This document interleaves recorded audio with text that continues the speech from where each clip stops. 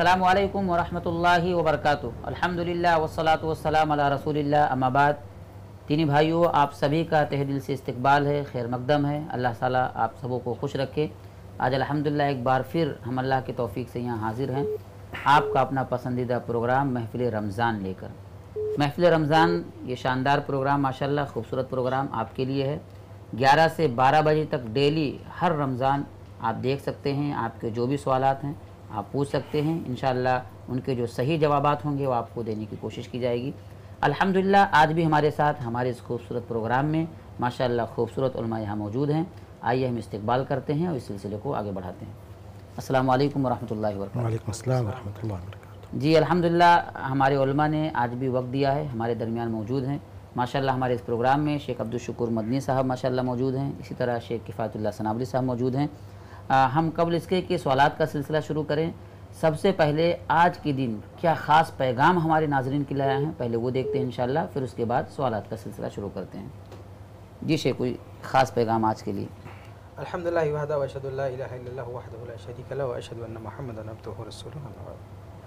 देखिए आज जो खसूस पैगाम नाजरन के सामने रखना है वो ये कि रमज़ान की मरकज़ी इबादत रोज़ा है। जी। रमज़ान में तो हम बहुत सारी इबादतें करते हैं।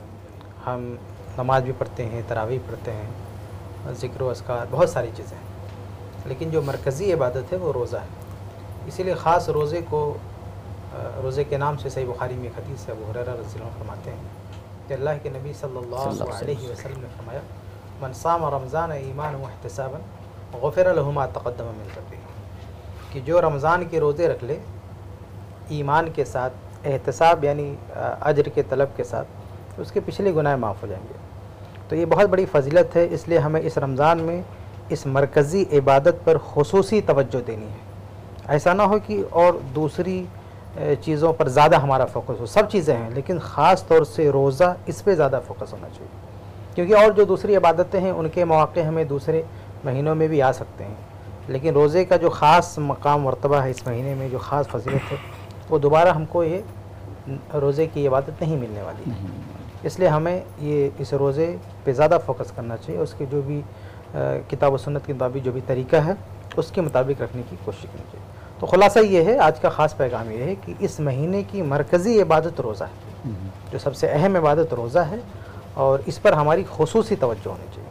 जी जजाकल्ला खैर बहुत बहुत शुक्रिया। शेख एक ख़ास पैगाम लेने से पहले चूँकि कॉल आ रही है उसको लेते हैं इन फिर पैगाम लेते हैं। जी कॉल कनेक्ट की जाए अलैक्म हेलो अस्सलाम वालेकुम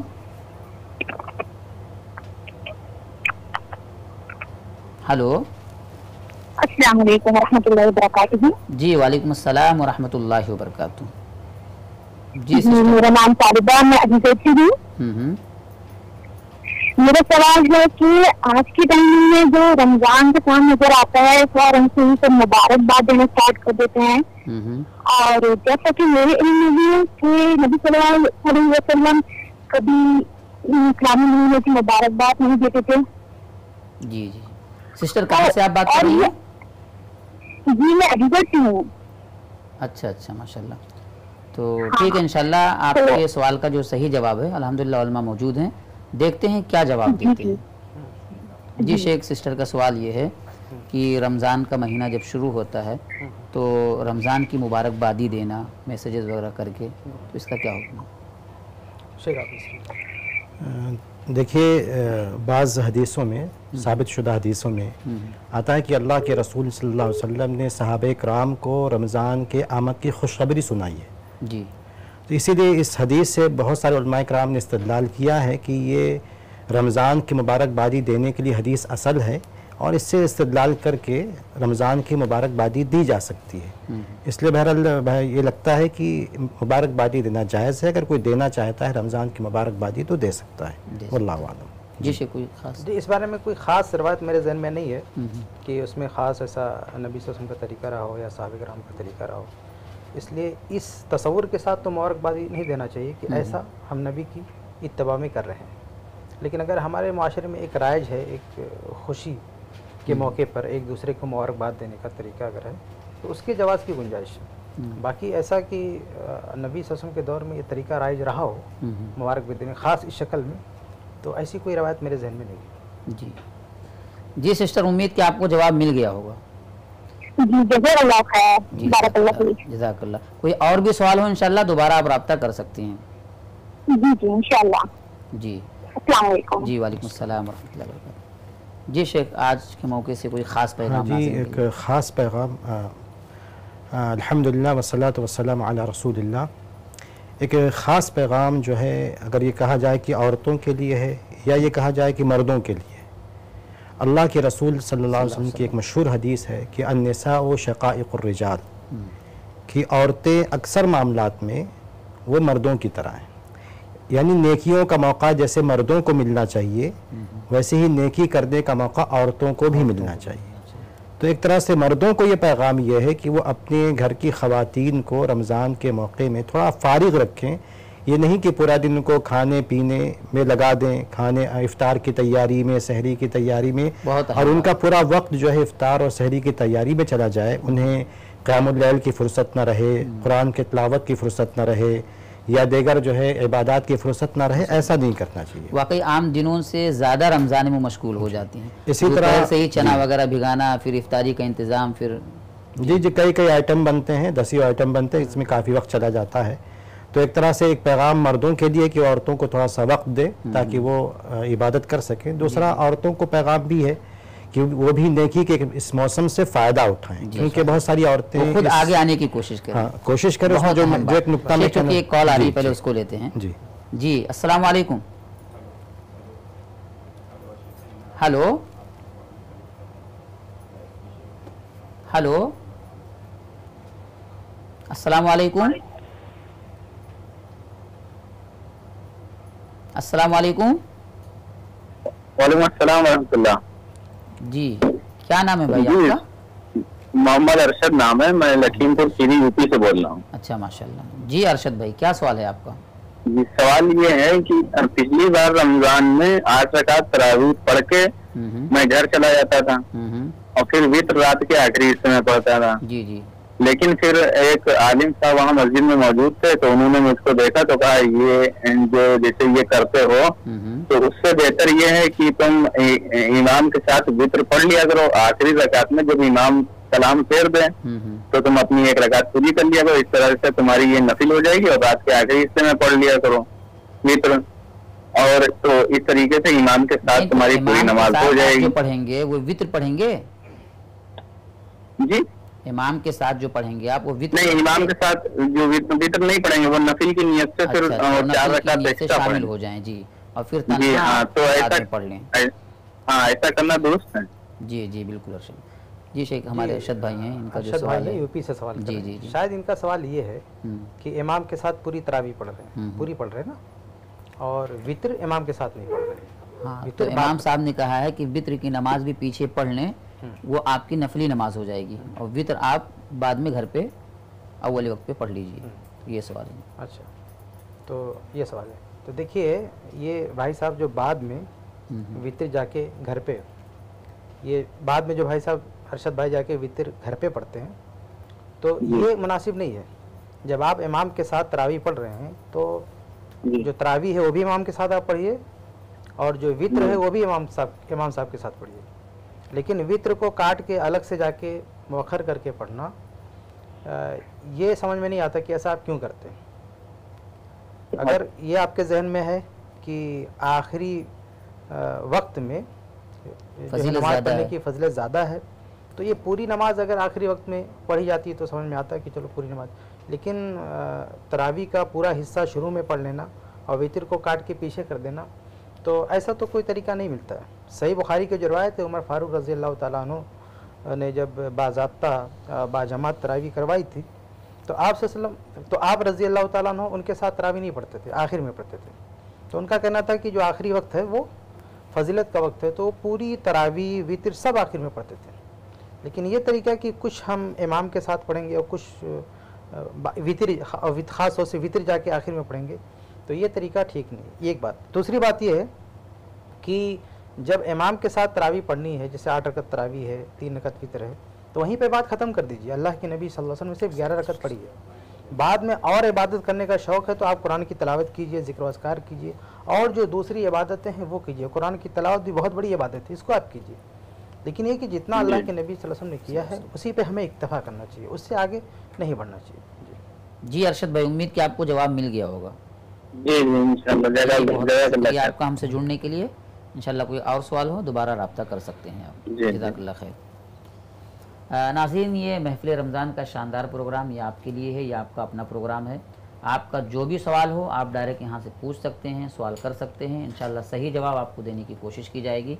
और पूरे रमज़ान 11 से 12 बजे हम यहाँ हाजिर होंगे। आपके लिए हाजिर होंगे आपके मसाइल को सुनने के लिए और उनके हल के लिए इंशाल्लाह ताला। हमारा ये प्रोग्राम अगर आप यूट्यूब पर देख रहे हैं तो उसे लाइक कीजिए शेयर कीजिए कमेंट कीजिए और दूसरों तक पहुँचाने में आप भी अपना रोल अदा कीजिए। आइए हम गुफ्तु करते हैं गुफ्तु के सिलसिले को आगे बढ़ाते हैं। शेख कल जो हमारी गुफ्तु चल रही थी वो शहरी के हवाले से और शहरी से मुतालिक कई बातें हमारे सामने आई। शहरी ही से रिलेटेड एक सवाल ये है कि शहरी एक मिनट पहले कॉल लेते कॉल आती है इंशाल्लाह इस पर गुफ्तु करेंगे। जी अस्सलाम हेलो जी सवाल शेख जी वालेकुम अस्सलाम वरहमतुल्लाहि वबरकातुहू। जी शेख मेरा सवाल ये था शेख जी। रोज जो है तरावे तरावे के साथ इतर पढ़ ले रहे हैं हम्म हम्म। तो सुबह में शहरी को जब उठते हैं दो रकत नफिल पढ़ सकते हैं शेख अच्छा अच्छा। कहाँ से बात कर रहे हैं आप? कर्नाटक से। कर्नाटक से माशाल्लाह। जी शेख भाई का सवाल कर्नाटक से है। जैसा कि इससे पहले भी हमारी गुफ्तु इस मौजू पर हो चुकी है। कि अगर किसी ने वितर पढ़ लिया है और बाद में उसकी नींद खुलती है तो वो जो है दो रकात नफिल नमाज़ पढ़ सकता है क्योंकि ये चीज़ अल्लाह के रसूल सल्लल्लाहु अलैहि वसल्लम से साबित है। लेकिन उसको आदत ना बनाया जाए क्योंकि असल यही है आम मामूल ना बनाया जाए क्योंकि असल यही है कि आप ग्यारह रकात आपने पढ़ ली तो नबी का तरीका है उसी पर इतफ़ा किया जाए। बाई चांस कभी अगर नींद खुल गई और पढ़ना चाहे तो इंशाल्लाह गुंजाइश है। अलबत् वित्र को दो मरतबा नहीं पढ़ेंगे वित्र एक ही मरतबा पढ़ी जाएगी लेकिन तो इंशाल्लाह दो रकात पढ़ने में कोई हर्ज नहीं है। जी तो हैं जी जी पढ़ सकते जी शेख ने जवाब दिया कि ठीक है वित्र की नमाज़ आखिरी नमाज़ होनी चाहिए आमतौर पर यही होगा। लेकिन कभी आपकी आँख खुली और बाद में और भी आप नफिल नमाज़ पढ़ना चाहते हैं तो पढ़ सकते हैं लेकिन आम मामूल उसको आप मत बनाइएगा। कभी आपकी है- जी जी जी, हम रोज की आदत बना ले शेख जी जी नहीं नहीं सही तो बनाइए वो ग्यारह रकात पे इक्तफा कीजिए। हम्म, हम्म, हम्म। इंशाल्लाह वही नबी की सुन्नत है वो काफ़ी इंशाल्लाह। जी जी। उम्मीद की आपको जवाब मिल जी जजाकल्ला खैर बहुत बहुत शुक्रिया। हाँ जी शेख शहरी के हवाले से हमारा सवाल है। सवाल ये है कि शहरी का आखिरी वक्त जैसा कि ये बात हमारे सामने आ गई। जी एक कॉल और आ रही है। जी। जी अस्सलाम वालेकुम हेलो। आप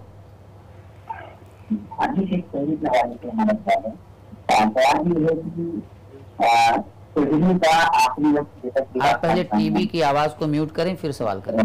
हेलो। हेलो। हाँ जी अस्सलाम वालेकुम वालेकुम। जी वालेकुम अस्सलाम व रहमतुल्लाहि व बरकातुहू जी कैसे हैं? यही पूछना चाहते थे कि जैसे हमने रोजा रख लिया उसके बाद हम सेविंग कर सकते हैं। रोज़ा रख लिया आप फिर? शेविंग तो नहीं बोल? अच्छा। रोजा रखने के बाद। हम्म, यानी दाढ़ी छिलाना जी आपकी आवाज़ आ रही है आप सवाल कीजिए। आप उसके बाद जो है शेविंग कर सकते हैं यानी आप सवाल ये करना चाह रहे हैं कि रोजा रखने के बाद रोज़े की हालत में दाढ़ी छिला सकते हैं या नहीं? हाँ जी जी। जी जी। कहाँ से बात कर रहे हैं आप? ये हम जिला में निकालते अच्छा पहले आप टीवी की आवाज़ को म्यूट कर लें क्योंकि आपसे ज़्यादा आवाज़ टीवी से आ रही है। जी जी उलमा आपके लिए मौजूद हैं जो सही जवाब होगा देने की कोशिश करेंगे। जी सुनिए। जी शेख। जी जी। भाई साहब ने सवाल ये किया है। मेरे से। ख्याल से इनका असल सवाल ये है कि इनको शेविंग यानी दाढ़ी छिलानी हल्क हाँ। करानी। तो ये रोज़े की हालत में तो रुके रहेंगे। लेकिन मेरे ख्याल से भाई साहब का सवाल ये है कि जब हमने इफ्तार कर लिया अभी रोज़ा ख़त्म हो गया। हम्म। तो रोज़े में एक पाबंदी थी तो अब पाबंदी ख़त्म हो गई तो अब शेविंग करा सकते हैं कि नहीं? नहीं नहीं रोज़े की हालत में पूछ रहे हैं कि है- रोजा रख कर करा सकते कि ठीक है वो भी हम जवाब दे देते हैं। रोज़ा रख कर भी और रोज़ा रख इफ्तार के बाद भी। देखिए शेविंग कराना हल कराना ये हराम और नाजायज़ है। अल्लाह के नबी सल्लल्लाहु अलैहि वसल्लम ने बहुत सारी अहादीस में कहा है कि दाढ़ी बढ़ाओ किसी में जो है एक रिवायत में तो वाफुल लोहा है कि दाढ़ी माफ़ कर दो। इसलिए दाढ़ी को छेड़खानी नहीं करना चाहिए जिस उसी हालत में छोड़ देना चाहिए। बहुत अगर किसी बाज़ उलमा की जो राय है कि एक मुश्त के बाद काट सकते हैं उसकी गुंजाइश हो सकती है क्योंकि उसमें भी बाज़ आसार हैं। लेकिन ये कि दाढ़ी छिलाना हल कराना इसकी कोई गुंजाइश नहीं है। चाहे आप रोज़े की हालत में हो चाहे आप रात में हो चाहे आप गैर रमज़ान में हो ये हराम और नाजायज़ है ये गुनाह कबीरा है। ये बहुत बड़ा गुनाह है। ऐसा नहीं गुनाह सगीरा है। ये इस्लाम का शार है और अल्लाह के नबी सल्लल्लाहु वसल्लम का हुक्म है। और जिस पर अल्लाह के नबी सल्लल्लाहु वसल्लम का हुक्म हो वो चीज़ वाजिब होती है फ़र्ज़ होती है ज़रूरी होती है। ये तो का रमज़ान मसला- कभी भी हाँ, तो दाढ़ी का मसला ये ऑप्शनल नहीं है कि आप चाहे रखें चाहे ना रखें या कोई छोटा मोटा गुनाह नहीं नबी वसल्लम का हुक्म है। तो अगर आप दाढ़ी छिलाते हैं हल कराते हैं तो अल्लाह के नबी वसल्लम के हुक्म की मुखालफत करते हैं। और मज़ीद ये कि गैरों से तशब्बो भी होता है। अल्लाह के नबी वसल्लम ने तो हुक्म देने के साथ साथ ये भी कहा है कि खालिफुल मुशरिकीन मुशरिकीन की मुखालफत करो। तो बहुत सारी बुराइयाँ जमा हो जाती हैं। नबी वसल्लम के हुक्म की नाफरमानी हो रही है। अगियार की मुशाबत हो रही है। इसलिए इसकी कोई गुंजाइश नहीं है चाहे आप रोज़े की हालत में हो चाहे आप इफ्तार कर चुके हो हत्या कि चाहे आप गैर रमज़ान में हो तो भी इसकी कोई गुंजाइश नहीं है ऐसा अच्छा नहीं क्या इससे रोज़े पे फ़र्क पड़ेगा? देखिए रोज़े के सवाब पे फ़र्क पड़ेगा। जो भी गुनाह का काम आदमी करेगा उससे रोज़े का सवाब मुतासर होगा। जी जी। तो रोज़े की हालत में कोई ऐसा काम नहीं करना चाहिए। गुनाह का काम। जी जी। जी जजाकल्ला खैर शेख बहुत बहुत शुक्रिया। हाँ शहरी के हवाले से शेख हम लोग की गुफ्तु चल रही थी। आखिरी वक्त क्या है उसका तस्करा तो हो गया। जी एक कॉल और है। जी अस्सलाम वालेकुम। हेलो।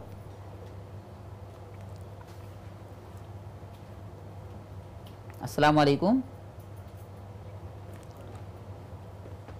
जी कट हो गया शायद। हम लोग गुफ्तु चलते हैं इंशाल्लाह। जी। आ, तो शहरी का आखिरी वक्त क्या है? वो बात तो इससे पहले आ चुकी है। लेकिन क्या शहरी का आखिरी वक्त हो चुका? बल्कि अजान भी शुरू हो गई।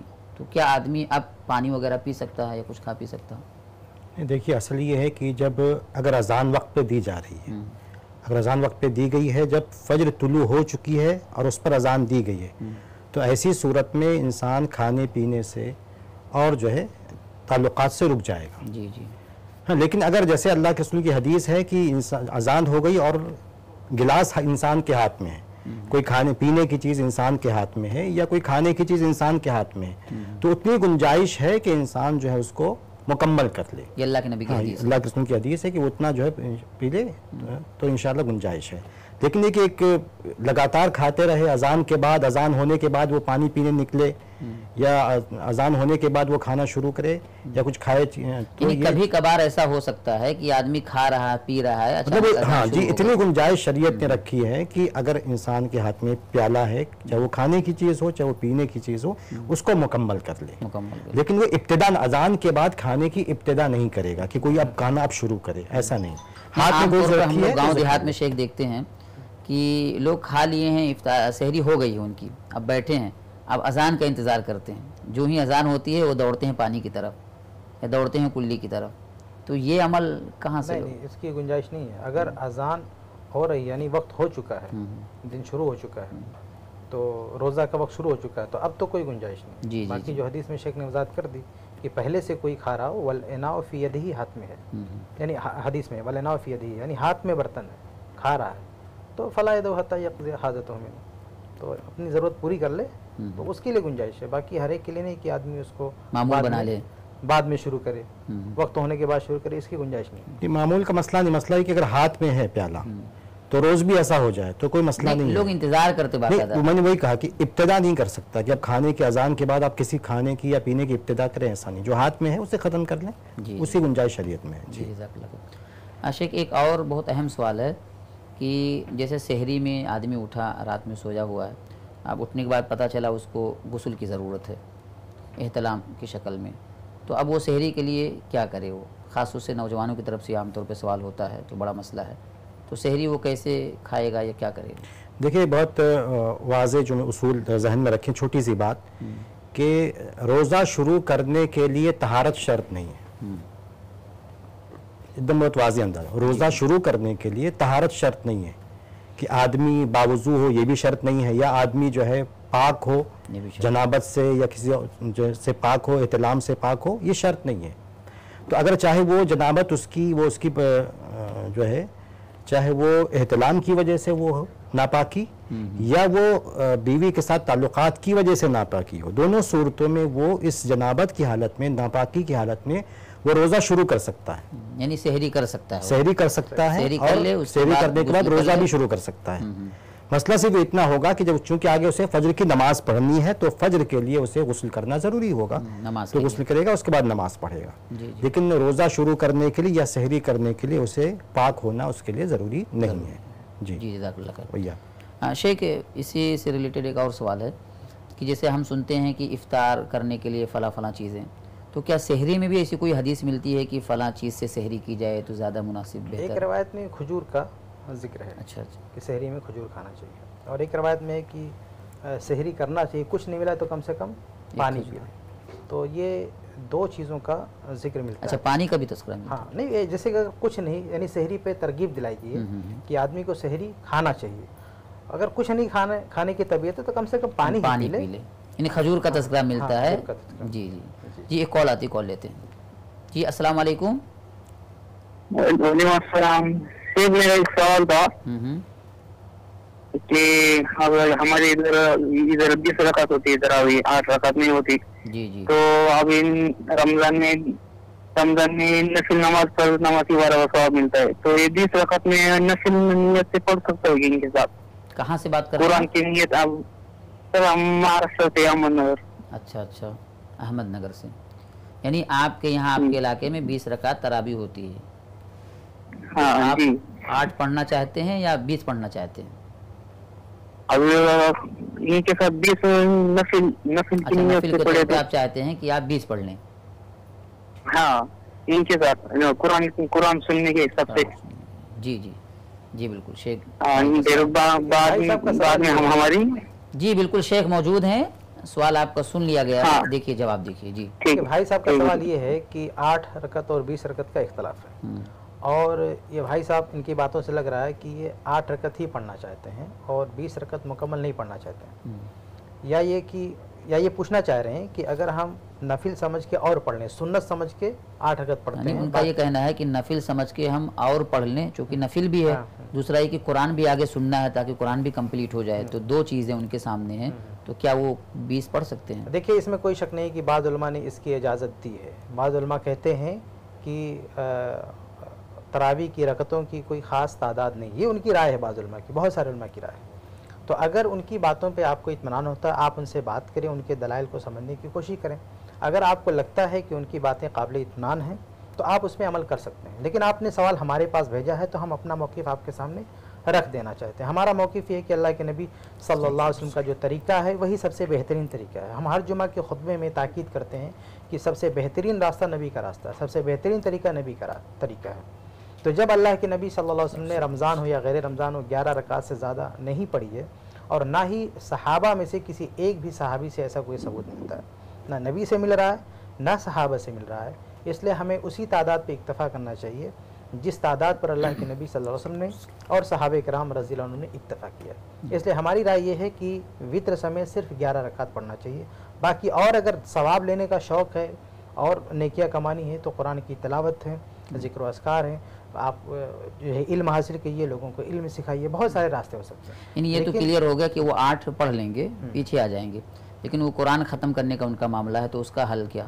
कुरान ख़त्म करना कोई ज़रूरी नहीं है कि आप तरावी ही में कुरान ख़त्म हाँ। करें। आप ऐसे तिलावत करके कुरान मजीद ख़त्म कर सकते हैं। ऐसे पढ़ के कुरान मजीद ख़त्म कर सकते हैं। जी। नमाजी में ख़त्म करना ज़रूरी नहीं है। जी जी जी। उम्मीद कि आपको जवाब मिल गया होगा। जी जजाकल्ला बहुत बहुत शुक्रिया। इंशाल्लाह कोई और सवाल हो दोबारा रब्ता करें आप। जी अगला सवाल। अस्सलाम वालेकुम अस्सलाम वालेकुम जी वालेकुम अस्सलाम वरहमतुल्लाहि वबरकातुहू। जी भाई आपका नाम? मेरा नाम मौला बीबल के। जी जी कहाँ से बात कर रहे हैं? कर्नाटक हाथपेट से। जी कर्नाटक से माशाल्लाह। जी क्या सवाल है आपका? पूछिए ये महफिल आपके लिए है। हाँ। जी फरमाइए सवाल। अस्सलाम वालेकुम जी वालेकुम अस्सलाम आपकी आवाज़ आ रही है। यह महफिल आपके लिए है सवाल सवाल रखिए। मेरा सवाल ये मेरा सवाल ये है मेरा लड़का है ना धूप में वो काम पे जाता वो क्या बोलता शहरी के बाद हम्म। वो तारत को बहुत तकलीफ़ होती बोलता रोजा रहने की कोशिश करता। अच्छा अच्छा। सवाल वाजे नहीं हो रहा आपका बेटा कितने साल का है? अभी ट्वेंटी टू है। अच्छा ट्वेंटी टू। तो वो शहरी के बाद कहीं काम पे जाते हैं? हाँ काम पे जाता धूप में। अच्छा धूप में मशक्कत होती मेहनत होती इस वजह से वो रोजा नहीं रख पाते तोड़ देते?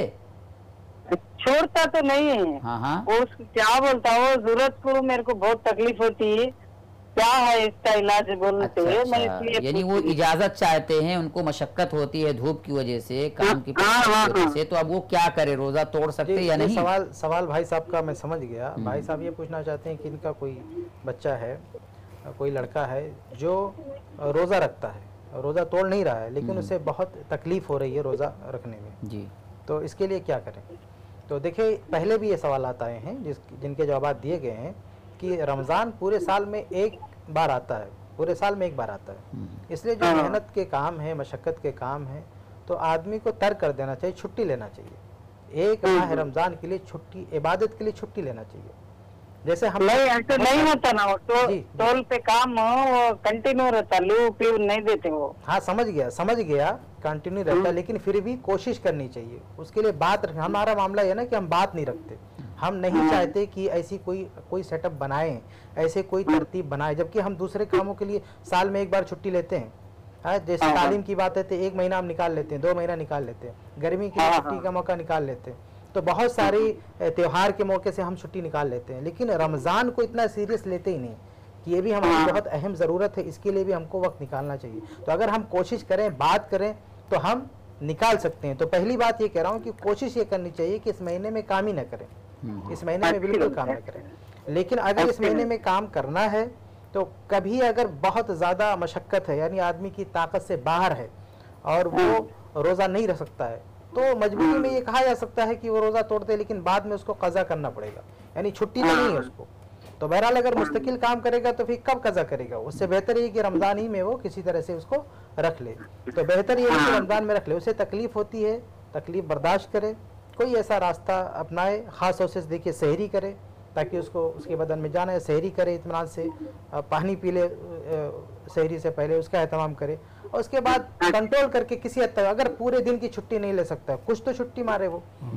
कहीं भी कोई काम कर है, रखने की वो कोशिश करे पहले असीमत बर्दाश्त करे सब्र करे। आदमी एक आध घंटा ड्यूटी कम कर सकता है बहुत सारा तरीका हो सकता हम्म। है। लेकिन किसी तरह रोजा रखना चाहिए उसको तय नहीं करना चाहिए किसी तरह उसको रख लेना चाहिए। जी। अच्छी बात है शुक्रिया शुक्रिया। जी वही आपको वही आपको। जी अगला सवाल। हेलो? अस्सलाम वालेकुम वालेकुम सलाम हेलो जी जी आपकी आवाज़ आ रही है जी आपकी आवाज़ आ रही है। जी सवाल। जी मेरा सवाल ये कि कोई इंसान अगर रोजा रखता है नमाज़ नहीं पढ़ता है तो उसका रोजा काबिल कबूल है बारगान बारगाह? इलाही। जी जी से बात कर रहे हैं आप। मोहम्मद शेख गुजरात से। अच्छा गुजरात से। जी शेख गुजरात से हमारे भाई का सवाल ये है। सवाल ये है कि जैसे कोई आदमी रोज़ा रख रहा है अब रोज़े की हालत में वो नमाज़ नहीं पढ़ता तो फिर उसका क्या होगा? देखिए वाज बात है कि नमाज़ हर मुसलमान पर जो बालिग है आकिल है उस पर फ़र्ज़ है। हम्म, हम्म, और कराम की एक बड़ी तादाद इस बात की तरफ़ गई है कि जो आदमी लगातार नमाज़ छोड़ता है वो काफिर है।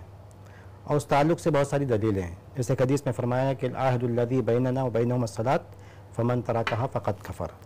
कि जो फ़र्क है हमारे दरमियान और गैरों के दरमियान वो नमाज़ है जिसने नमाज़ छोड़ दी उसने कुफ्र किया। तो इसलिए नमाज़ चूँकि अहम रुकन है ना, तो छोड़ने की गुंजाइश तो नहीं है। छोड़ना नहीं चाहिए। तो असल में सवाल हमारा जो है ठीक है सवाल एक ही है लेकिन सवाल भी हम लोग इसीलिए रख रहे हैं ताकि मुत्तकी हाँ। बन जाएँ अल्लाह वाले बन जाएँ नमाजी बन जाएँ। बिल्कुल बिल्कुल। तो सवाल असल में ये होना चाहिए कि जो है कोई आदमी नमाज़ क्यों नहीं पढ़ रहा उस पर बात होनी चाहिए। वो मरहला बाद में आता है कि एक आदमी नमाज़ नहीं पढ़ता रोज़ा रखता है। असल चीज़ उस पर ज़्यादा बात होनी चाहिए कि इंसान को नमाज़ पढ़ना चाहिए चाहे वो रमज़ान का मौका हो चाहे वो रमज़ान के अलावा देगर महीनों में हो। क्योंकि मुसलमान नमाज़ के बगैर नहीं है।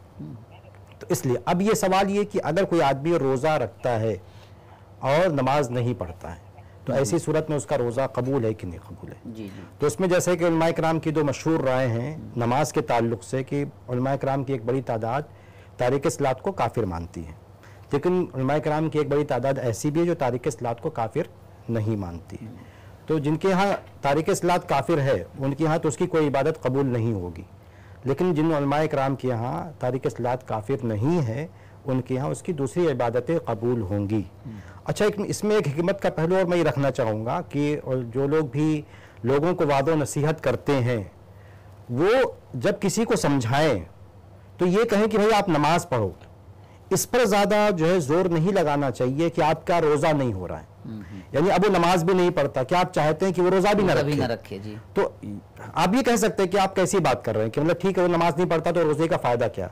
लेकिन मेरा कहने का मतलब ये है कि अगर वो रोजा रखता है तो गोया कि उसमें खैर का कुछ पहलू है। अभी उसमें ईमान बाकी है वो थोड़ा सा महसूस कर रहा है।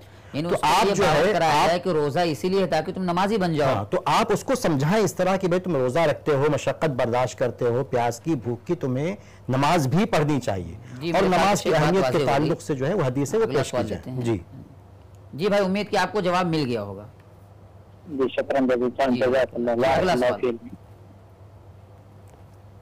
हाँ, अस्सलाम वालेकुम। हेलो। हेलो। शायद नेटवर्क इशू है।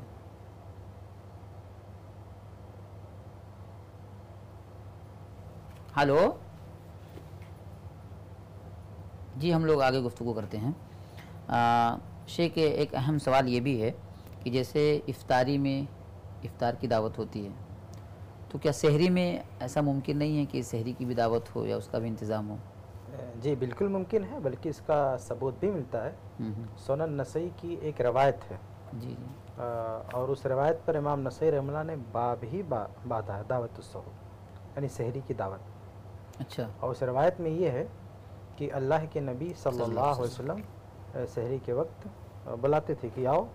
और साथ में शहरी करते हैं। साथ में सहरी करते हैं। और शेख अलबानी रहमल्ला ने सिलसिला सहिया में लिखा है कि अल्लाह के नबी वसल्लम की वफ़ात के बाद कुछ सहाबे कराम भी ऐसे करते थे। यानी वो सहरी के वक्त सहरी का इंतज़ाम करते थे और लोगों को बुलाते थे कि आओ मुबारक खाने में शरीक हो। तो अल्लाह के नबी वसल्लम की हदीस से और इसी तरह से सहाबे कराम रज़ी के आसार से इसका सबूत मिलता है। ये आसार साहबा गालिबन तबरानी वगैरह की रवायत है शेख अलवानी रमला ने तखरीज की है सही लेकिन हमने तो शेख अपनी ज़िंदगी में शहरी की दावत नहीं देखी। अच्छा बल्कि बल्कि मैं आपको ये भी वाजे कर दूँ कि शहरी के दावत से शहरी की दावत से मुतलिक तो मरफू हदीस भी मिल रही है और आसार भी मिल रहे हैं। लेकिन इफ्तार की दावत पर प्रैक्टिकल कोई रवायत नहीं मिल रही है। मैं नहीं कहता कि ऐसा नहीं होता होगा या नहीं करना चाहिए। मैं नहीं कहता इफ्तार की दावत नहीं लेनी चाहिए। बहरहाल वो हदीस में तरकीब दिलाई गई है जी, जी। कि कोई रोज़ा किसी को इफ्तार कराए तो ये सवाब है। वो है सब कौलन है। लेकिन अमली शक्ल में ऐसी कोई रवायत मेरी नज़र में नहीं है। करना चाहिए। कौल है काफ़ी है वो। लेकिन प्रैक्टिकल अमली शक्ल में ऐसी कोई रवायत नहीं कि साहब कराम ऐसे सबको जमा करके और इफ्तार कराते रहे। मैं इसको गलत नहीं कह रहा हूँ फिर दोहरा रहा हूँ। वो सही है। लेकिन इफ्तार के बारे में शहरी के बारे में तो सबूत मिलता है सबूत कि शहरी की के लिए बुलाया जा रहा था दावत दी जा रही थी साथ में बुला के खाया जा रहा था। इसलिए अगर शहरी की भी दावत की जा रही है लोग किसी को बुला रहे हैं कि आओ बैठ के शहरी करते हैं एक साथ तो इसमें कोई बुरी बात नहीं है। ये साबित है हदीस से। कराम होना चाहिए आसार से साबित शेख आपने अपनी ज़िंदगी में कभी देखा है शहरी में भी दावत? नहीं उमूमन चूँकि मैं समझता हूँ उसकी एक वजह भी है कि चूँकि वो हाँ, फजर से पहले का वक्त रात का वक्त होता है ऐन बीच रात का यानी चार बजे साढ़े चार उस वक्त लोगों को बुलाना थोड़ा सा मुश्किल होता है। इस वजह से लोग इसका अहतमाम इतना नहीं करते। हाँ, बाकी ये जहाँ कि- जैसे कुशादगी वगैरह हो एहतमाम आसानी से हो सकता है घर बड़े हों। नहीं देखिए जैसे शेख ने कहा कि बिल, बिल्कुल जो है साबित है। नबी के फेल से भी साबित है साहब कराम के जो है फेल से भी साबित है बुलाना चाहिए करना चाहिए। लेकिन मैं कह रहा था कि चूँकि रवाज इस शायद इसीलिए नहीं है कि उस वक्त थोड़ा सा मशक्क़त है हाँ, मशक्क़त लोगों को है बन- बनस्बत इफ्तार के इफ्तार कराना आसान है। वक्त जो है लोगों के जागने का होता है नशात का होता है उस वक्त आसानी से। और शहरी एक आदमी घर में रहता है अपना खुद खा पी के सो जाता है या नमाज़ फजर की नमाज़ पढ़ के सो जाता है इसलिए उसका अहतमाम नहीं होता लेकिन बिलाशुबा अहतमाम तो होना चाहिए। अच्छा अहतमाम होना जागने चाहिए वाली रातें होती हैं ताक रातें। हाँ उसमें हो सकता तो ताक रातों में सब जाग रहे होते हैं और कुछ लोग इंतज़ाम करते भी हैं। कुछ लोग उसका इंतज़ाम करते हैं शहरी की दावत का। जी शेख मेरे ख्याल से बात वाजे हो गई ये सवाल लेते हैं। जी अस्सलाम वालेकुम। हेलो। जी अस्सलाम वालेकुम सलाम वरहमतुल्लाहि वबरकातुहू। शेख सकती हूँ सवाल। जी जी। आप कहाँ से बात करें सिस्टर? जी मैं हैदराबाद से बात कर रही हूँ शेख। जी बिल्कुल बिल्कुल। देखिए ये महफिल आपके लिए है। जो भी सवाल है रखिए जी। जी क्या सवाल है आपका? मेरा सवाल जक़ात से ताल्लुक से है शेख। हम्म। मेरे वालिद साहब पहले सऊदी में थे जब हमारे मा, माली हालत अच्छे थे। अब कुछ सालों पहले आ चुके हैं हैद- हैदराबाद में रह रहे हैं अभी इंडिया में रह रहे। हैं तो इस वजह से क्या हो रहा है माली हालत थोड़े डाउन हो चुके हैं हम लोग के पास कुछ गोल्ड नहीं है। तो और हम लोग जक़ात देना स्टार्ट कर दिए कुछ सालों से तो अब अब हमको ये डाउट आ रहा है कि जक़ात देने से हमारे माली हालत अच्छे नहीं हो रहे क्या बोलते मम्मी को डाउट आ रहा है ऐसा तो इससे कुछ वजाहत कीजिए। शेख और हम जो हमारे पास कुछ गोल्ड तो नहीं है है छो, एक छोटी सी प्रॉपर्टी है हम्म। वो घर बनने के लिए रखिए बस हम लोग। अच्छा। तो जक़ात हम ले सकते हैं या नहीं इससे हमको कुछ वजाहत कीजिए। यानी आप जक़ात देना चाहते या लेना चाहते? लेना लेना ले सकते हैं क्या हम जक़ात? अच्छा। कुछ इस तरह से आपके साहब पहले सऊदी में कारोबार करते थे अच्छा कमाते थे। जी जी। लेकिन अभी अच्छा वापस आ गए हैं। अभी हालत ठीक नहीं है। जी हाँ। हाँ तो कोई कैश में कोई खास पैसा भी आप लोगों के पास नहीं है यानी हालत ठीक नहीं है तो क्या आप जक़ात ले सकते हैं या नहीं? यही पूछना चाह रहे हैं हाँ। जी जी जी यही पूछना चाह रहे हैं। घर घर घर का खर्च नहीं निकल रहा है हम लोगों का। बच्चों की तालीम नहीं हो सक रही तो हम क्या जक़ात ले सकते हैं? प्रॉपर्टी रखे छोटी सी है प्रॉपर्टी बस। जी बिल्कुल सिस्टर देखिए ये महफिल तो- आपके लिए है। जी बिल्कुल उलमा मौजूद हैं। देखते हैं इसका सही जवाब क्या है। जी शेख। जी जी देखिए अल्हम्दुलिल्लाह वस्सलातु वस्सलाम अला रसूलिल्लाह। कि ज़क़़त कौन ले सकता है? अल्लाह ताला ने उसकी वजाहत कर दी है। इन सदक़ात लफ़रा वल मसाकिन। तो अगर इंसान फ़कीर है या मस्किन है तो ज़क़़त ले सकता है। फ़कीर वो है जिसके पास जो कल्लाश हो जिसके पास बहुत मामूली पैसा हो ना के बराबर हो या उसका दो चार महीने का या एक महीने का ही राशन हो पाता हो उससे ज़्यादा वो खर्च उसका नहीं उठ उठता है। वो उसके पास खर्चे का पैसा नहीं है। और मिस्किन वो है जो कमाता है जिसके पास आमदनी का ज़रिया है कोई नौकरी करता है कारोबार करता है लेकिन जितना वो कमाता है वो पूरे साल के लिए पूरा नहीं होता या महीने में पूरा नहीं होता। जैसे वो पच्चीस हज़ार कमाता है पच्चीस हज़ार उसकी सैलरी है लेकिन उसका खर्चा चूँकि अफराज ज़्यादा हैं घर के तो उसका खर्चा पैंतीस तक जाता है। हम्म, ये तीस तो अगर या तीस तक जाता है तो ऐसी सूरत में जो एक्स्ट्रा जो उसका खर्चा है पाँच हज़ार दस हज़ार उस हिसाब से वो ले सकता है। हम्म, तो अब आपकी जो सूरत हाल जो आपने बताई है उसमें यह है कि आपके पास जैसा आपने कहा कि खाने पीने में रोज़ के खर्चे में जो महीने का खर्चा उसमें तंगी है। तो उसमें गुंजाइश निकलती है। लेकिन मुझे एक बात आपसे थोड़ी सी वाजे करनी है कि जो प्रॉपर्टी है अगर इंसान के पास कोई प्रॉपर्टी एक्स्ट्रा प्रॉपर्टी जिसमें आप रहते नहीं है जिसमें आप रहते हैं उसकी बात नहीं की जाएगी। लेकिन अगर एक्स्ट्रा प्रॉपर्टी है तो आदमी को उसको या तो आदमी किराए पे दे दे किराए पे देगे उसके ज़रिए खर्चा कुछ आएगा उसको पूरा करे। या उसके बाद अगर ये सूरत मुमकिन नहीं है तो प्रॉपर्टी बेच के अपना खर्चा पूरा करे। और उसके बाद भी लगता है कि नहीं उसके बावजूद भी उनका खर्चा पूरा नहीं होगा तो ऐसी सूरत में वो जक़ात से ले सकती हैं। लेकिन मुझे थोड़ा सा ये एहतियात लगती है कि प्रॉपर्टी मौजूद हो अब कितनी है कितने की है वो आप तफसील बताएँगे तो समझ में आएगा। लेकिन इंसान के पास प्रॉपर्टी मौजूद हो अगरचे खर्चे का पैसा नहीं है तो प्रॉपर्टी एक दौलत मानी जाती है जायदाद मानी जाती है उसको भी आपकी मालदारी या गुर्बत में देखा जाएगा। जी जी। उस हिसाब से देखा जाएगा। पास वो जगह है वो एक्स्ट्रा जगह है हाँ अच्छा जगह है उसकी कीमत- उसकी क्या होगी? जिस मकान में रहते हैं उसके अलावा एक्स्ट्रा प्रॉपर्टी है आपके पास?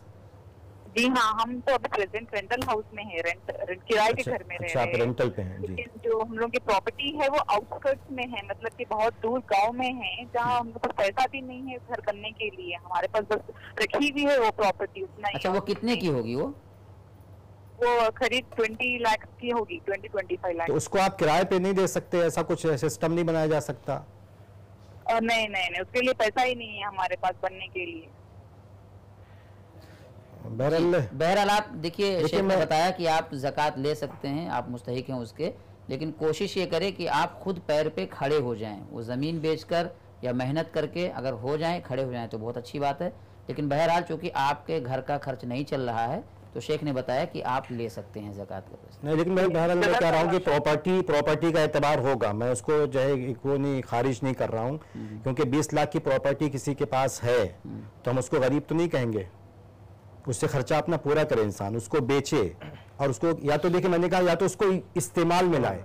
इस्तेमाल में लाएगा किराया अगर आता है तो किराए से हम लोग कहेंगे मत बेचे और वो किराए के ज़रिए खर्चा पूरा करे। लेकिन अगर वो खर्चा किराए पे नहीं देता उसको इस्तेमाल में नहीं लाता उसके ज़रिए कोई भी आमदनी नहीं करता है तो 20 लाख की प्रॉपर्टी के आदमी को आप ये नहीं कहेंगे कि वो गरीब है। तो उसको बेच के अपना खर्चा पूरा करना होगा। उसके बाद भी अगर कमी होती है तो आप जक़ात मांग सकते हैं ले सकते हैं।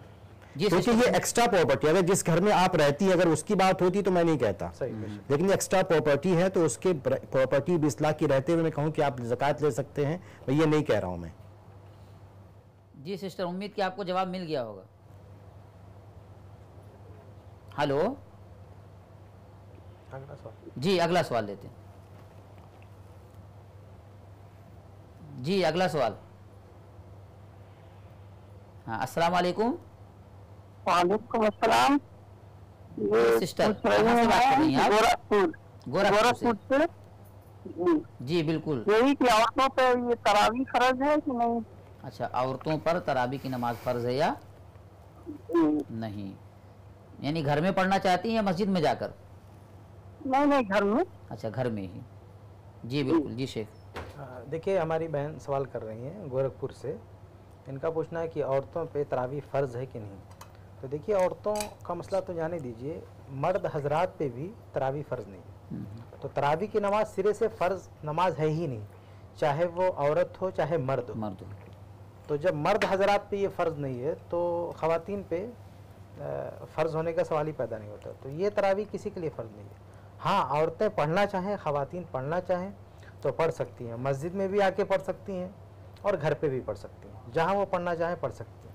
लेकिन बहरहाल ये जो तराबी की नमाज़ मर्द और औरत दोनों के लिए हुक्म के एतबार से बराबर है या कुछ फ़र्क हाँ? बराबर है बराबर दोनों। बराबर है। जिस तरह मर्दों के लिए उसी तरह हाँ ख़वातीन भी पढ़ सकती हैं। खवातीन के लिए भी। हुक्म दोनों क्योंकि के जो भी शरीयत का जो भी हुक्म होता है वो आम होता है सबके लिए होता है। मर्द के लिए भी होता है। अब ये जो है मन काम लैलतलक़द्र ईमान व एहतसाब गफ़िर लहु मा तक़द्दम मिन तो ऐसा नहीं कहेंगे ये सिर्फ़ मर्द के लिए है ये मर्द ख़वान सब के लिए है। ऐसे ही मन काम लैलतलक़द्र जो शब कदर में क़्याम करे तो ये क़्याम वाली जो फजीलत है इसको कोई भी हासिल कर सकता है चाहे वो मर्द हो चाहे औरतें हों सबके लिए। तो ये फ़र्ज़ नहीं है सुन्नत है सुनत मकदा कह सकते हैं दोनों के लिए है। चाहे मर्द पढ़ें चाहे औरत पढ़ें दोनों पढ़ सकते हैं। जी सिस्टर उम्मीद कि आपको जवाब मिल गया होगा। हेलो? जी अगला सवाल। हाँ अस्सलाम वालेकुम। जी। हेलो? जी अस्सलाम वालेकुम। जी वालेकुम अस्सलाम व रहमतुल्लाहि व बरकातहू। वालेकुम जी आपका नाम? जी मेरा नाम मोहम्मद आसिफ मोहम्मद आसिफ। जी मोहम्मद आसिफ आसिफ साहब आप कहाँ से बात कर रहे हैं?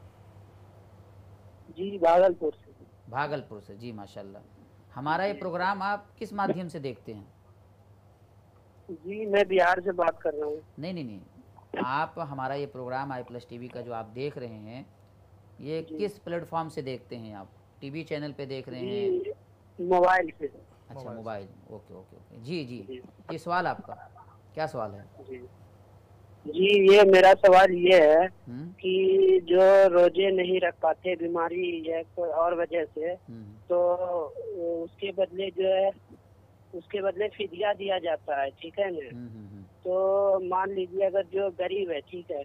इतना गरीब है कि वो बीमार भी है गरीब भी है और उसके बदले फिदिया का भी उनके पास पैसा नहीं है। तो वो क्या करे? वो मतलब फिदिया दे दे सकता है या नहीं? हम्म। उसके लिए आपका सवाल ये है कि अगर कोई बहुत ज़्यादा बीमार है वो रोज़ा नहीं रख सकता है। अब उसको फिदिया देना है शरीयत की तरफ़ से। लेकिन फिदिया देने की भी वो ताकत नहीं रखता है। तो अब वो क्या करेगा? जी यही सवाल है ना? जी।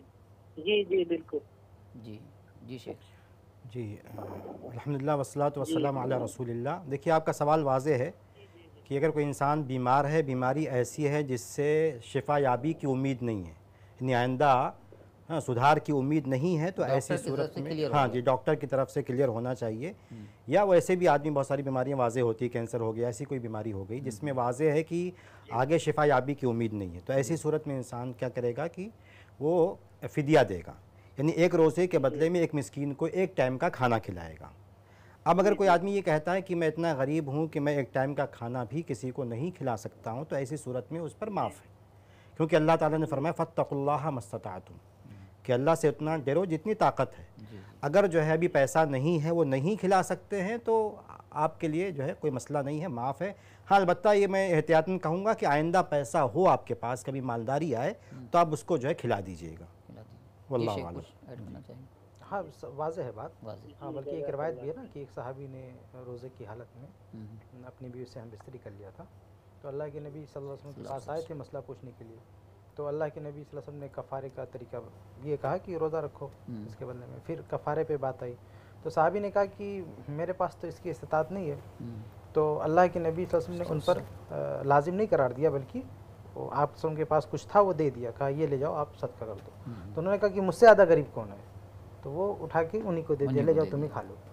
तो इस रवायत से भी पता चलता है कि अगर किसी के पास इस्तात नहीं कफ़ारे की हम्म, तो ज़बरदस्ती उस पर जो है कफ़ारा नहीं कि कहीं से भी ला के पूरा करे ऐसा ऐसा नहीं कर सकते हैं। जी। अलबत्ता अगर कोई दूसरा शख्स ऐसे आदमी को हदिया करना चाहे कि चलो भाई आप रोज़ा नहीं रख सकते हो हम्म, और हमारी तरफ़ से चलो ये हदिया है ये लोग कफ़ारा अदा कर दो हम्म, तो अच्छी बात है। आदमी अगर आसपास में कोई है तो उसको शौक़ दिलाना चाहिए। हम्म। लेकिन उसके ऊपर अगर उसकी इस्तात नहीं है कहीं से कुछ नहीं मिला तो फ़तकुल्लाह मस्तात जी। भाई उम्मीद कि आपको जवाब मिल गया होगा। हेलो? जी अगला सवाल। हाँ अस्सलाम वालेकुम। हेलो? हेलो? चलें शेख हम लोग गुफ्तु करते हैं। तो हमारी गुफ्तु शहरी के हवाले से चल रही थी और कई अहम बातें शहरी से मुतालिक हमारे सामने आ चुकी हैं। अच्छा हम इफ्तारी पर गुफ्तु करते हैं आप शहरी तो हो गई माशाल्लाह समझ लीजिए रोज़ा भी रख लिया।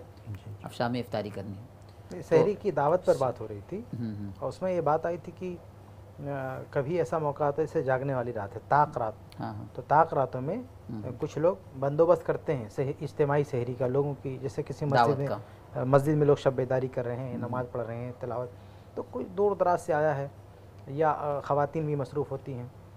तो वहाँ पे कोई बहुत जगह ऐसा होता है कि एक आदमी खाने का इंतज़ाम कर देता है। हम्म, हम्म, तो कुछ लोग इस पर नकीर करते हैं उसको कहते हैं बिदत है। ये गलत बात है इसको बिदत नहीं बोलना चाहिए। तो एक आदमी खाने का इंतज़ाम कर रहा है शहरी की मुनासबत से कि लोग यहाँ पे जमा हैं चलो हम उनकी दावत कर देते हैं। तो इसको बिदत कहने की कोई गुंजाइश नहीं क्योंकि अल्लाह इसमें एक मसला हो सकता है कि जैसे बहुत ज़्यादा अहतमाम करने की वजह से मस्जिद में अब भीड़ भाड़ हो अब इधर उधर का मामला हो तो इबादतें मुतासर हो सकती हैं तो शायद इस वजह से लोग ऐसा नहीं है कि रात भर खाना बनता है बल्कि वो मस्जिद में बनता भी नहीं खाना। खाना कहीं और बनता है हम्म। शहरी के टाइम ला के उसको यानी अगर इबादतें मुतासर ना हो हाँ। तो एहतमाम किया जा सकता है। अब रात भर थोड़ी कोई खाना बनाएगा। जी खाना कॉल लेते शेख कॉल लेते हैं। हाँ अस्सलाम वालेकुम। हेलो। जी शायद कट हो गई। तो मेरे ख्याल से शेख अगर डिस्टर्ब ना हो इबादतों में आसानी के साथ सहूलत ये जैसे खाना कहीं और बनता ऑर्डर दे देते बना के ला के आदमी दे देता तो ऐसे इज्तमाही खाना बनवा के खिलाना कोई चाहता है तो उसमें कोई हर्ज की बात नहीं। जी जी जी। या ऐसे ही अपने घर में कोई दस पंद्रह लोगों को खिलाना चाहता है बना के तो भी कोई मसला नहीं। जी। शेख इफ्तारी के हवाले से आ, इफ्तारी में और यहाँ पे एक नुकता और है। हम्म, अभी देखिए मस्जिद में इज्तमाही इफ्तारी भी तो होती है। हम्म, तो वहाँ पे तो हम नहीं मना करते कि मस्जिद में क्यों सब जमा होकर इफ्तार कर रहे हैं। नहीं वो शब कदर का मामला नहीं होता ना शेख हाँ शब कदर का मामला नहीं होता है जैसे मस्जिद में तकरीबन मान लीजिए दस पंद्रह मिनट पहले इंतज़ाम होता है। तो ऐसे ही ऐन उसी वक्त अगर आदमी खाने के इंतज़ाम कर दिया और ला के दे दिया खा लिया तो क्या है उसमें? क्या दिक्कत है? वो भी मस्जिद में हो रहा है ये भी मस्जिद में हो रहा है। अगर मस्जिद में इज्तमाही इफ्तारी हो सकती है तो मस्जिद में इज्तमाही सहरी क्यों नहीं हो सकती। इज्तमाही सहरी हो सकती है बस यही कि इबादतें मुतासर ना हों। क्योंकि हमने देखा बहुत सी मस्जिदों में कि जागने की रात में बहुत से नौजवान उसके पीछे लगे होते हैं तैयारी कराने में इंतज़ाम वगैरह में तो पूरी रात उसी में निकल जाती है। तो अगर ये सारी चीज़ें हों मेरे ख्याल से तो फिर नहीं नहीं बचेंगे। पूरी रात कोई नहीं करता है सर देखिए पूरी रात खाना नहीं बनता कहीं पे भी। हाँ कुछ अफराद होते हैं और आमतौर से आप तो किसी को ऑर्डर दे दिया था ख़ास लोग होते हैं उनका काम ही वही होता है। तो उसमें कोई इन्वॉल्व नहीं होता बहुत ज़्यादा। हम्म, तो उसमें कोई हर्ज की बात नहीं। जी जी। हाँ शेख इफ्तारी के हवाले से। हाँ इफ्तारी को लेके भी बड़ा मसला चल रहा है शेख कि कुछ लोग बहुत जल्दी कर लेते हैं और कुछ लोग एहतियात के नाम पर वक्त हो जाता है फिर भी नहीं करते हैं। तो इस सिलसिले में? नहीं देखिए जहाँ तक ये कि आपका ये कहना है कि लोग कुछ लोग बहुत जल्दी कर लेते हैं तो ऐसा तो कोई नहीं कि वक्त से पहले कर लेता हो। अलबत्ता अलबत्ता जब सूरज गुरूब हो जाए और आप इंसान को यकीन हो जाए कि सूरज डूब चुका है। डूब चुका है। तो ऐसी सूरत में बिलाशुबा नबी की सुन्नत यही है कि इफ़ार कर लिया जाए। बल्कि अच्छा अल्लाह की करने के हवाले से सुन्नत क्या है?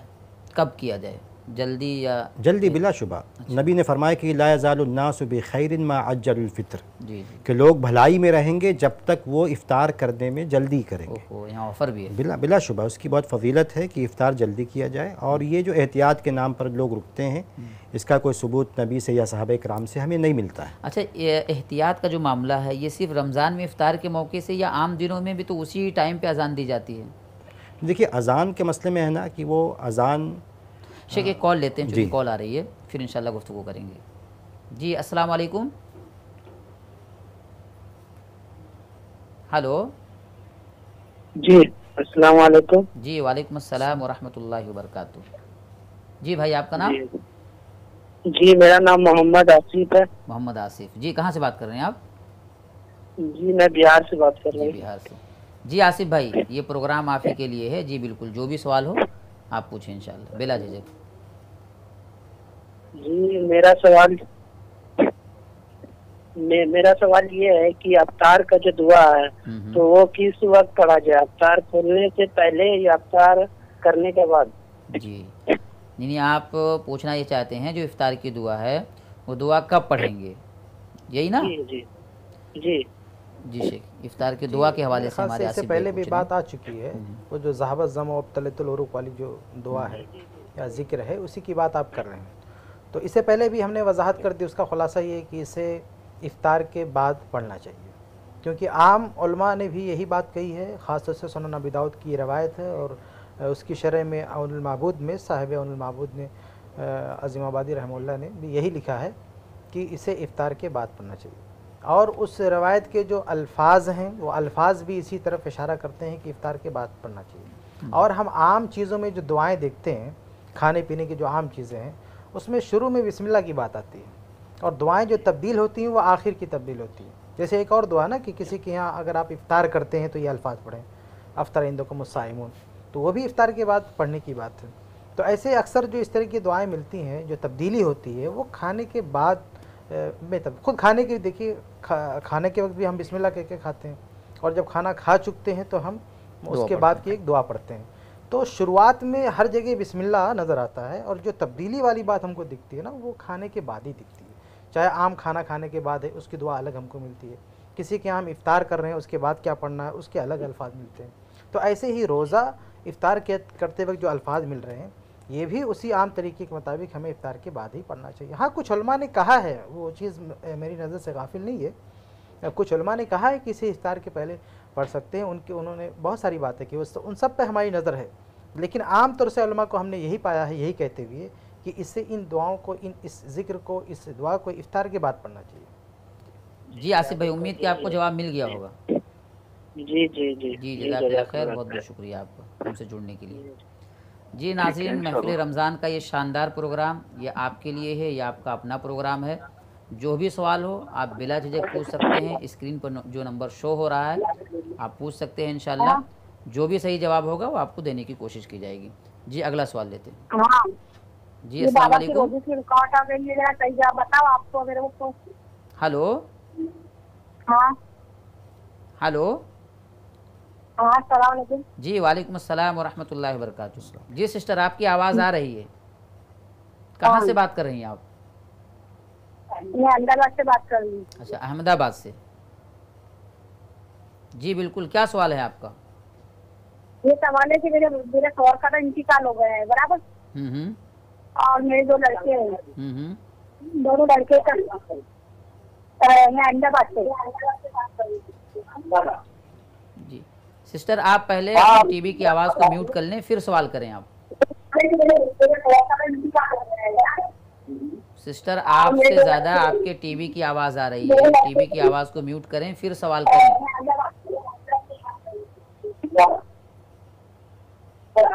जी जी सवाल कीजिए आप। आपके शोहर का इंतकाल हो गया आपके दो बेटे हैं। आगे।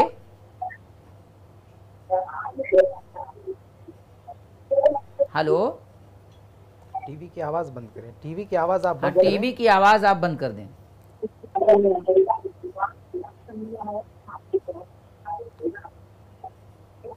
शायद नेटवर्क इशू है। कट करके आप दोबारा लगाएँ आप। टीवी की आवाज़ बंद करके फिर लगाएँ। हमारी ही आवाज़ दोबारा वहाँ से सुनाई दे रही है जी जी जी। हेलो? जी शेख तो हम लोगों की गुफ्तगू चल रही थी। इफ्तार के हवाले से। जी जी। जी तो उसमें आप शायद सवाल ये कर रहे थे कि जैसे अज़ान के ताल्लुक़ से। तो देखिए जब अज़ान का वक्त हो जाए चाहे रमज़ान का मौका हो चाहे गैर रमज़ान। अगर सूरज डूब गया है तो अज़ान का वक्त हो गया मगरिब का वक्त हो चुका है तो लोगों आम दिनों में हम देखते हैं कि अजान का वक्त जैसे ही होता है अज़ान हो एहतियात नहीं किया जाता फ़ौरन अजान हो जी, जाती है। जी। लेकिन रमज़ान में जब मगरिब की अजान का वक्त होता है तो वहाँ दो तीन मिनट एहतियात के नाम पर अजान नहीं दी जाती है थोड़ा सा वेट किया जाता है। हाँ तो जो लोग ये ऐसा रमज़ान में क्यों? जी नहीं जो लोग भी ऐसा कर रहे हैं वो गलती पर हैं बिलाशुबा अज़ान का वक्त हो जाए सूरज डूब जाए तो अज़ान का वक्त हो जाता है मगरिब के नमाज़ अज़ान का तो अज़ान दे दी जानी चाहिए। और अज़ान हो जाए तो जैसे अज़ान हो लोग इफ्तार कर लें। चाहे वो रमज़ान का मौका हो चाहे रमज़ान के अलावा देगर महीनों का मौका हो। तो एहतियात के नाम पर भले जो कुछ किया जा रहा है वो मुनासिब नहीं है ऐसा नहीं किया जाना चाहिए। हाँ अलबत्ता मैं कहूँगा कि जैसा मैंने शुरू में लफ्ज़ इस्तेमाल किया कि सूरज के डूबने का यकीन हो चाहे वो अपनी आँखों के ज़रिए हो या अगर कैलेंडर चलता है और कैलेंडर पे पता है कि सही कैलेंडर है उस पर सही वक्त जो है सूरज के डूबने का लिखा हुआ है तो उसका एतबार किया जाए मेरे ख्याल से बात वाज़ेह जी। शेख एक और अहम सवाल है। सवाल ये है कि ठीक है जैसे ही अजान का वक्त हुआ सूरज गुरूब हुआ इफ्तारी कर लें। अगर किसी ने गलती से अगर वक्त नहीं हुआ अभी सूरज गुरूब नहीं हुआ। और गलती से उसने इफ्तार कर लिया तो फिर उसका क्या हुक्म होगा? इंशाल्लाह उसका रोज़ा सही होगा। उसने गलती की है जानबूझ के नहीं किया है। ये जो हम मुफतरात सोम के बारे में कहते हैं इन चीज़ों से रोज़ा टूट जाएगा। तो हम उसमें एक शर्त ये भी लगाते हैं कि उसने अनजाने में किया हो। या तो भूल के किया हो या ऐसे अनजाने में यानी उससे ख़ता हुई हो। यानी आमदन ना किया हो। तो इंशाल्लाह उसका रोज़ा सही होगा। और उससे दोबारा रोज़ा रखने की ज़रूरत नहीं है। इसकी एक दलील भी मौजूद है।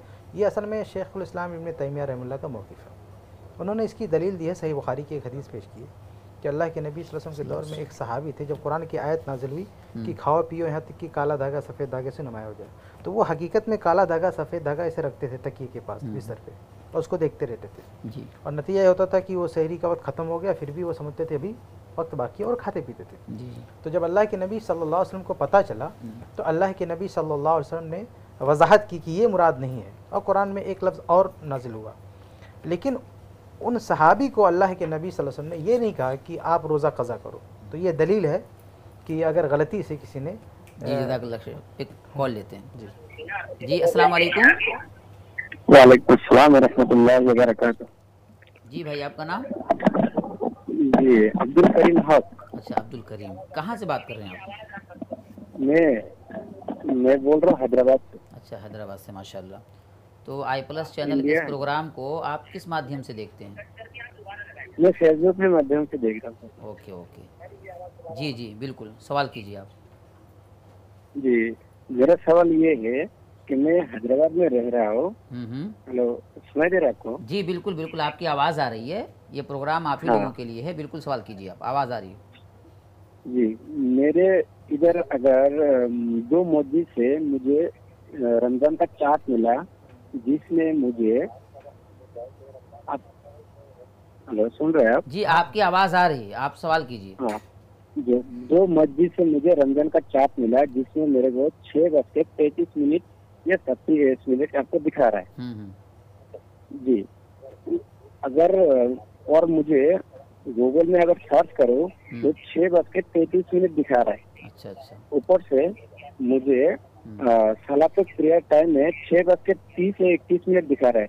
यानी तो दोनों कार्ड में फ़र्क है। मैं इस पर कब करूँ?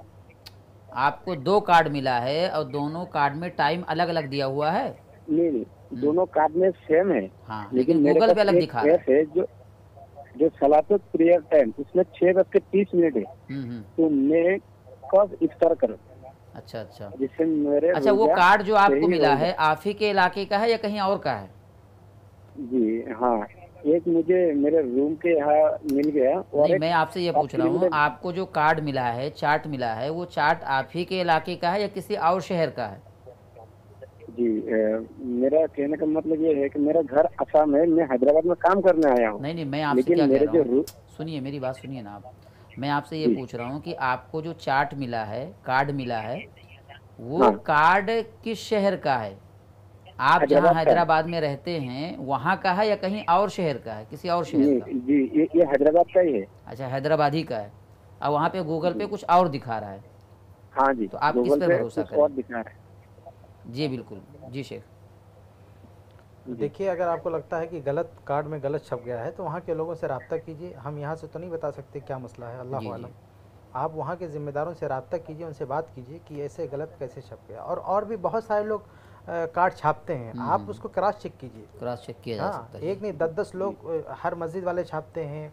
दावा सेंटर वाले छापते हैं मदारिस वाले छापते हैं जमीयत वाले छापते और हैं। ख़ास उससे बड़ी तंजीमें तो बाकायदा चेक करके हाँ, छापती हैं हाँ, बहुत ही एहतमाम से छापती है उसमें गलती के चांसेस बहुत कम है। हम्म, आपको मेरे ख्याल से कोई गलत फहमी हुई है। लेकिन फिर भी अगर लगता है कि कोई मिस प्रिंटिंग है कोई मसला है प्रिंटिंग में तो फिर आप क्रॉस चेक कर लीजिए और भी कार्ड अच्छा ऐसी और मिसालें मिलती हैं से ऐसा हुआ है कि प्रिंटिंग की वजह से कभी गड़बड़ हुआ है? हम्म, गड़बड़ हो हुआ है सकता है इस वजह से हुआ हो। तो बात की जहाँ से छपा हम्म। है वो जिन लोगों ने उसको छापा है उन लोगों से बात कीजिए कांटेक्ट कीजिए कि भाई ये क्या मसला है। हम्म, तो वो सबसे बेहतर वजात ना वही लोग दे सकते हैं बजाय इसके कि हम यहाँ से कुछ कहें आप जिन लोगों ने छापा है ना उनसे आप रब्ता करें उनसे पूछें तो वो आपको मुतमिन कर सकते हैं बेहतर जवाब दे सकते हैं कि क्या मसला है गलत छपा है या क्या है या आपको गलत फहमी है। वो बेहतर वजात कर सकते हैं। हम तो यहाँ से कोई मज़बूत बात नहीं बता सकते। जी भाई उम्मीद कि आपको जवाब मिल गया होगा।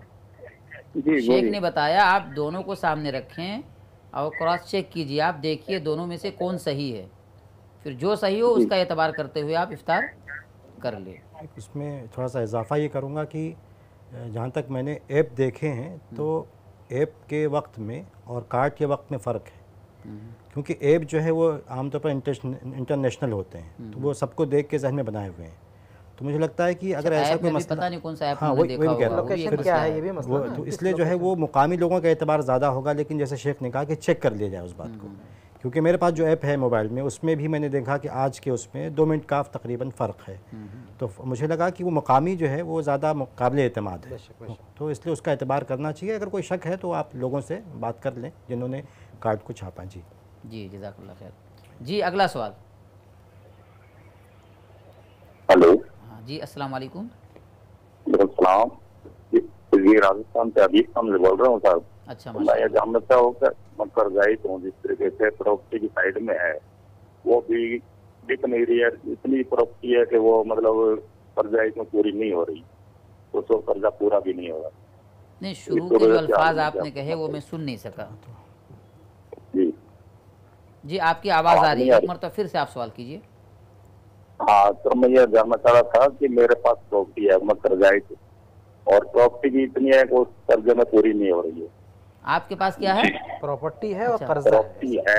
हाँ हाँ। हाँ कर्जा ज़्यादा हूँ। प्रॉपर्टी की कीमत कम हो रही है वो अच्छा, पूरा कर्जे नहीं की हो कीमत रहा ज़्यादा है। आजा में भी जाए हाँ कीमत कम है। अच्छा अच्छा। हाँ। जितना आपके पास हाल में प्रॉपर्टी है उससे ज़्यादा आप जो है मकरूज हैं हाँ कर्ज ज़्यादा है। हम्म, हम्म, उसे मुकम्मल नहीं हो रहा। हाँ हाँ कर्ज है ना ज़्यादा है प्रॉपर्टी की कीमत कम है। जी वो सुन लिए आगे फिर आप क्या जानना चाह रहे हैं?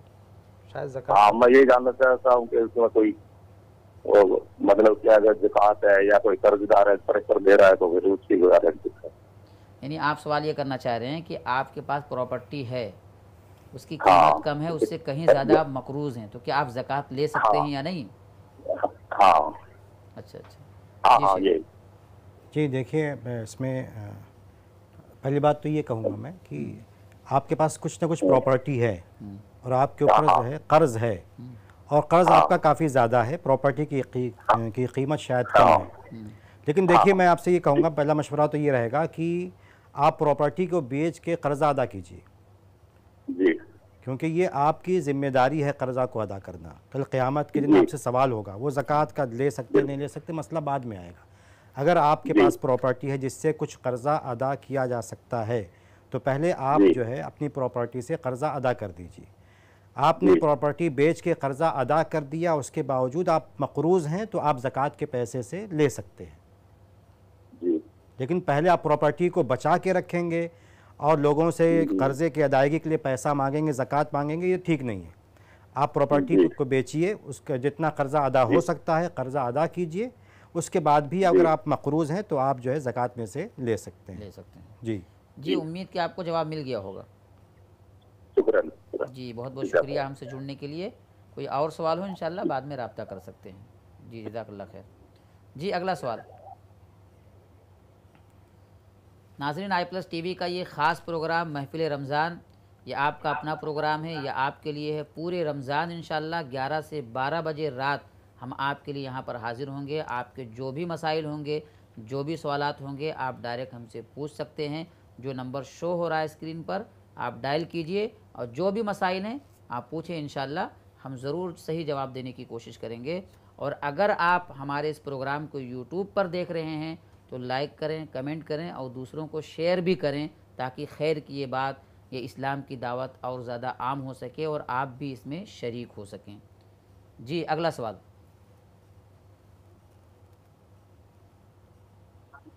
जी अस्सलाम वालेकुम हाँ वालेकुम सलाम। जी भाई आपका नाम? अरे हाँ मेरा नाम फैसल है। फैसल?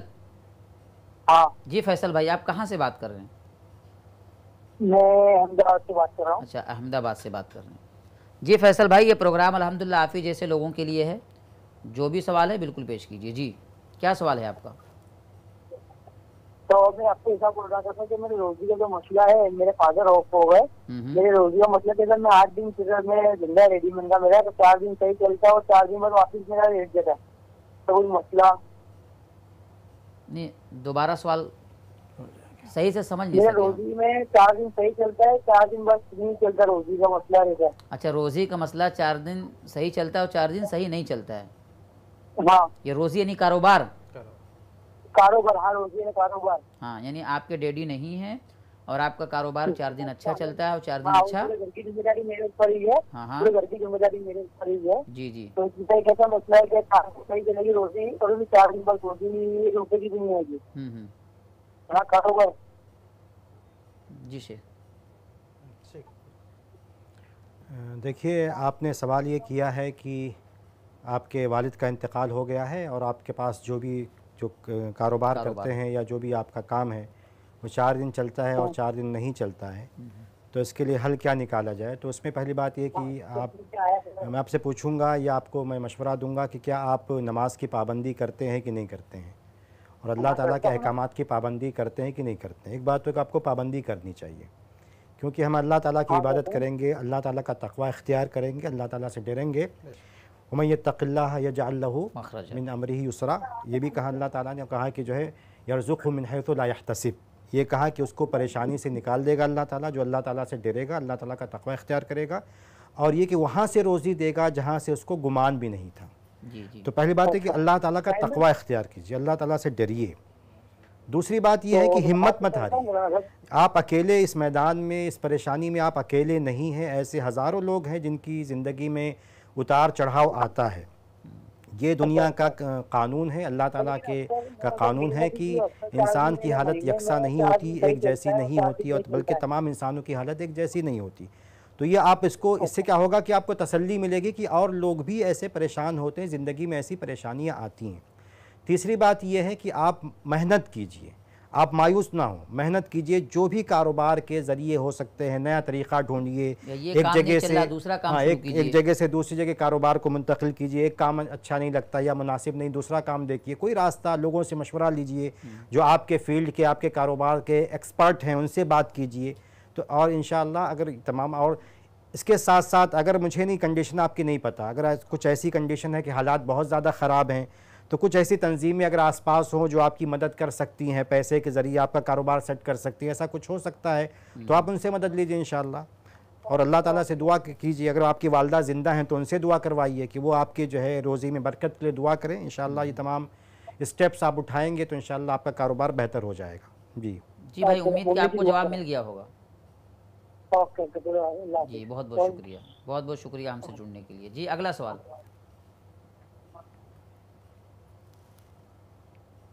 जी अस्सलाम वालेकुम